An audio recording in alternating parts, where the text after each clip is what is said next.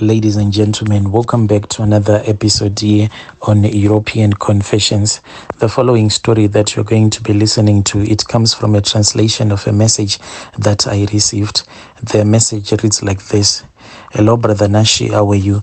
Can you please post my own story as hidden identity?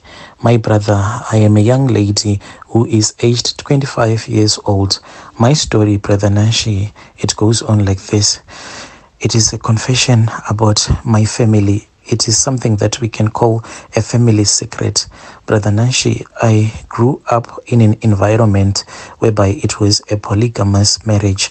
My father, he had several wives, and most of them they left him because my father kept on remarrying. But it was my mother and the first wife, they were the ones who remained at the time when my father passed away. So my mother she was the one who was the youngest. So everyone in the family hated her because they said that she was a gold digger. But as far as we know my mother really loved my father. The problem was not my mother but the problem was my father. My father was the one who kept on chasing after several women even when he was still alive we would see my mother crying. This would be after she would have found out that my father was busy cheating on her. There was even a time when my mother broke down and she started crying. We asked her and she told us that she could not tell us what was going on. But after we had pressurized her,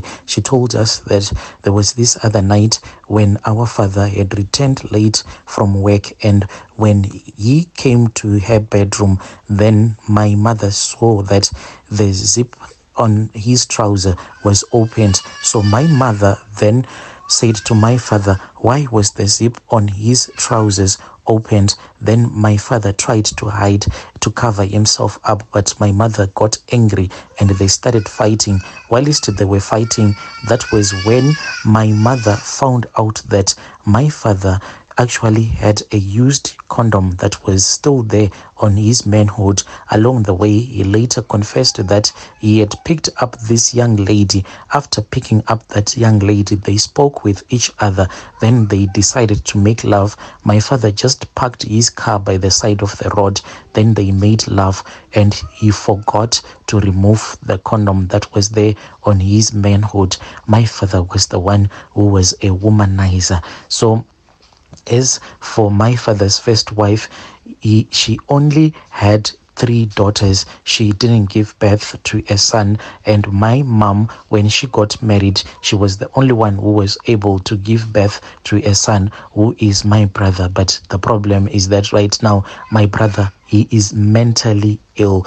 When my father saw that my mother had given birth to a boy, my father, whenever he would reinvest his businesses, he kept on like making sure that my my brother, his son, was the one who was at the forefront of everything and all the properties that were left behind by our father. They are all in my brother's name. And whenever my father was doing all of these things he never told anyone. It was my mom who knew everything that was going on and my father had told my mother that she was not supposed to tell anyone because this truth was supposed to be revealed when he had died. My father was such a quiet man. He didn't want to debate a lot. He did his things alone. He didn't want he didn't want to be questioned. That is why he loved my mom because my mom was a, an obedient woman. Whenever my father will say, I want you to do this thing, that is what my mom will do. All of a sudden, my father then fell sick. He really got sick. It was like he was suffering something like his heart. There was something that was wrong there. With the money that we had, we then decided that my father had to be flown to India, and that is where he went. When my father was there, that was when he came back. When he came back after the operation unfortunately my father then passed away. My father passed away whilst he was still on the plane coming from india. After my father had died we mourned for him and we buried him. After we had buried him all of our relatives because we come from a very big family because this is a family that follows this tradition of polygamy. So my father's brothers all of them they have several wives. So whenever we have a family meeting it is always a large gathering. When they came then the lawyer came as well. That was when the will was read out and we saw that most of the properties they were not given to my father's first wife because we thought that this was what was going to happen. Then my father had left this other letter that he had given to the lawyer. My father had said that us as the girls in the family, one day we were going to be married, and he had made his son, my brother, to be the guardian. If it will ever happen that when we go to get married, then things that will not work out in our marriages, we will come since he will be the guardian of his wealth. But this did not sit well with my father's first wife because we were only given cars, including her daughters as well. They were given cars. My father's first wife wanted everything to be left in her name because my father was into real estate. He has so many properties around Harare as well as two more properties in Bulawayo. All of these they are rented out and people and the people that are staying there they are like wealthy. They pay good rentals. So this is what my father's first wife was after when my father's first wife saw that this is what my father had written in his letter explaining all the things that he had done and as to why he had done all of these things because he said that leaving these things in the name of my brother he wanted his empire to grow he didn't want his company to be owned by our husbands he wanted his blood to own the companies after a month this was after my father had been buried. My mother, one day, uh, when I was returning back from varsity, I found out that my mom, she was just lying. She was sleeping on this other couch. My mom was someone who was very active and for her to be sleeping on the couch like that i immediately saw that there was something that was wrong with my mom i asked my mom what was going on. She said i have a terrible headache. I then rushed with her to the private and then we were given some medication. The following day i received a phone call.